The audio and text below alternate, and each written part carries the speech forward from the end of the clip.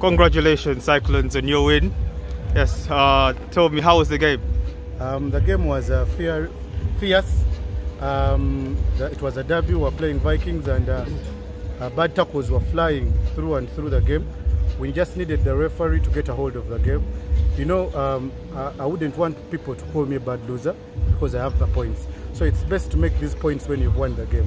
The referee failed to handle the game, and uh, we ended up having a, a very intense derby, a very rough derby.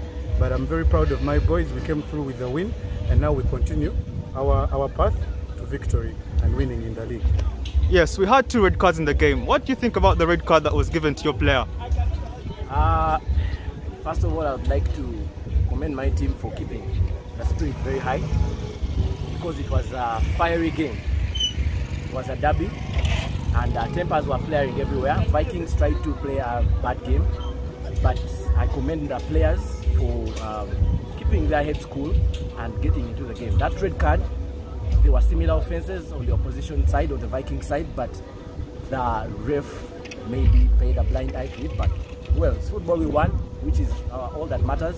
But we, go on, we, we move. go on, we move We to move. the next game and see what we can do. So, what does this win mean for the team as you head into the Um, Easter break?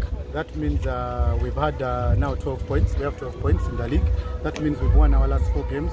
Our, our, our goal after losing our first game was to ensure we cut down the lead on the people leading us, and we've done that in these first five games of the season.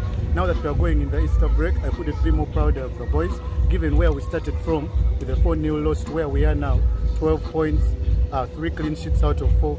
That is a very good uh, standard that we've set, and if we can keep it at that level, we shall surely be able to uh, set up a challenge for the Blue Corners. That's a pretty impressive form. Thank you very much. Thank you. Cheers.